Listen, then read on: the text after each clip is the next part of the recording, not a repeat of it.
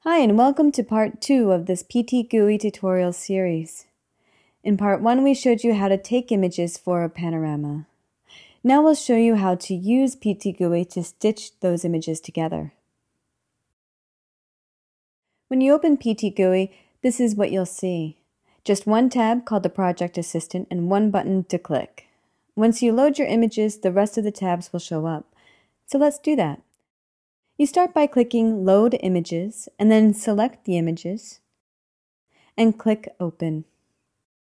Alternatively, you can drag and drop your images right onto the PTGui window. Now the images are loaded and this area is your main workspace. At the top are separate tabs for specific functions, and clicking this Advanced button reveals a few more tabs but we'll be working with this simple interface for this tutorial. There are also a few helpful tools that you can access from the toolbar or the tool menu. There's the Panorama Editor, the Control Point Assistant, and the Detail Viewer, and later I'll go over each of these in detail. For now, let's get back to the Project Assistant. The images right now are out of order and the two rows of images are lined up side by side. But you don't have to worry about this. Below the images are the camera and lens settings, which you can see have been automatically set. This information comes from the EXIF data embedded in the JPEG files by the camera. The next step is to align the images. Once it finishes, the panorama editor will pop up, presenting you with hopefully a perfectly aligned panorama. So what PTGui did was it analyzed the images looking for matching details with the different photos. When it finds these match details, it marks the images with what are called control points. And you can see these in the Control Points tab. From these control points, PTGui was able to figure out how the images overlap, and in this case, figured out that it's a two-row panorama. Although PTGui may not always be able to find control points for an image. This can happen, for instance, when there are too few recognizable details or too many moving subjects within the image. If this does happen, you'll just have to add the control points manually. You'll know when you need to do this because both the project and control point assistants will show a warning. You can add the control points for these images in the Control Points tab. Here's our image that lacks control points on the left side, and on the right side is one of the images that it overlaps. What you need to do is find a few points within both of these images that are the same, so you're making pairs. For instance, the corner of this window is in both images, so I'll click here, and then I'll click on the corresponding point in the other image. Once I do that, you'll notice that the new control point is represented by a numbered marker. It's generally a good rule of thumb to create at least four pairs of control points that cover the overlap area really well. Once the third point is added, PTGui will automatically complete the new control points by using the information from the existing control points. And in most cases, it's quite exact.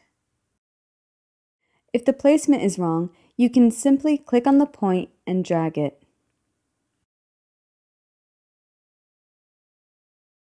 If you need to delete a control point, just right-click and choose Delete. On a Mac with a one-button mouse, you can use Control-click instead of right-clicking. To zoom in and out, use Control and the mouse wheel, or Command and the mouse wheel on a Mac. Scrolling is done by dragging with the right mouse button pressed or controlled drag on a Mac. You can use these red arrow buttons to move through the image pairs. For more tricks in the Control Points tab, you can click this purple Help button here. Now I should have enough control points, but I'll make sure by bringing up the Control Point Assistant. And great, it tells me I have enough. Back in the Project Assistant tab, I'm told that I need to optimize.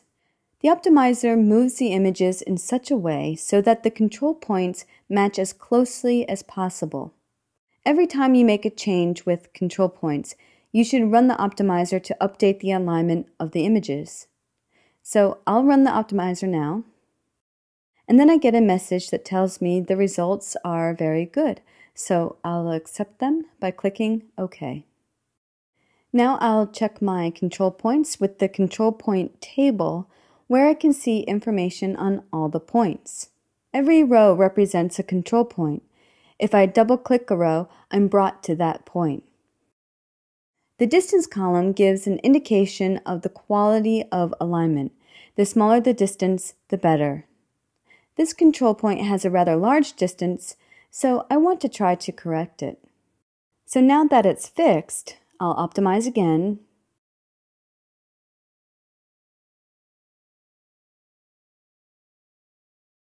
And the results are good. So now is a good time to save the project. This doesn't save the panorama, but rather it saves the project in its current state so you can go back to it later without going through all the previous steps again. Now let's check out the panorama in the panorama editor. Here you can move the panorama just by dragging it, and you can also rotate it with the right mouse button or by control drag on a Mac. This makes it useful for straightening horizons. This project in particular was shot with the camera pointing slightly upwards and the tripod wasn't level, so I'll correct this. First, I'll drag the panorama upwards until all the vertical lines are parallel.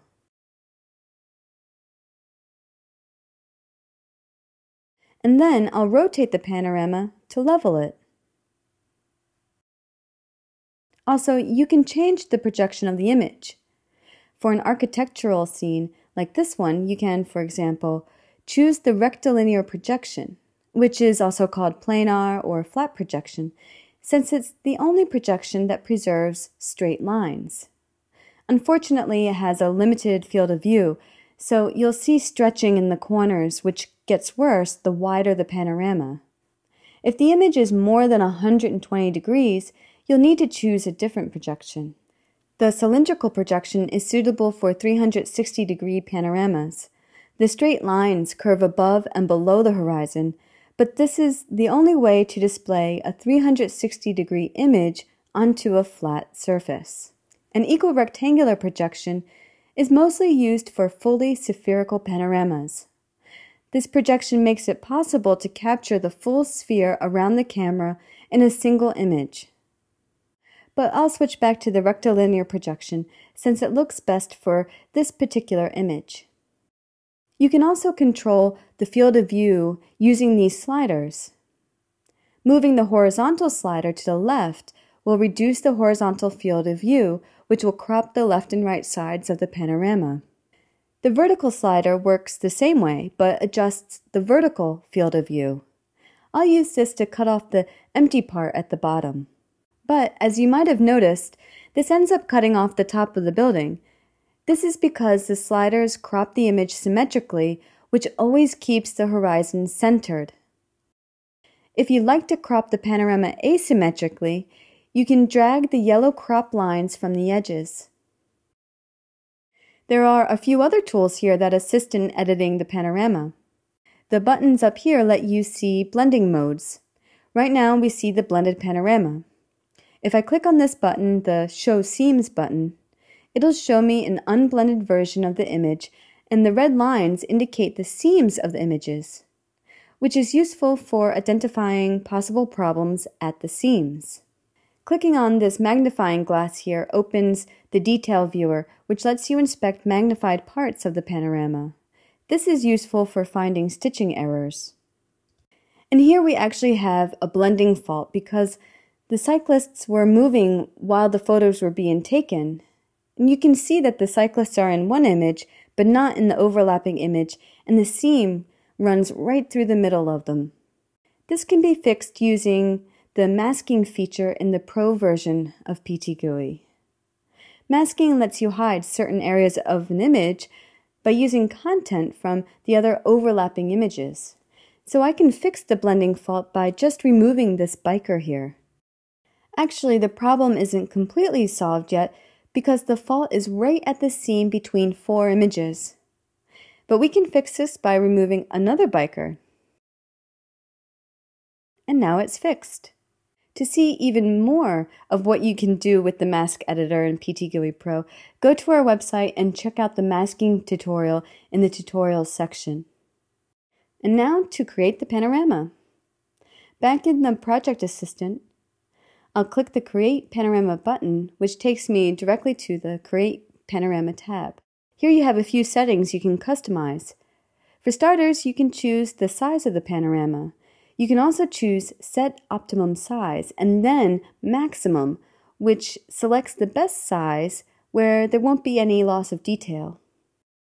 You can also choose from one of these file formats and further adjust the output file by clicking Settings. If you'll be editing your panorama further in an image editor like Photoshop, you can output each image as a layer. Finally, PTGui by default will save your image using the image or project name and will place it in the same folder as the original image.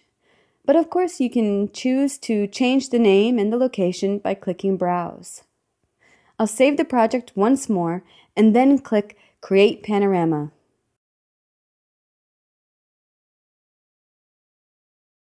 And here it is. There was a lot that wasn't covered in this tutorial, but you can always access the help pages in every screen. And if you can't find what you're looking for in the help pages, then check out the support page of ptgui.com. Thanks for watching and have fun, and of course, happy stitching!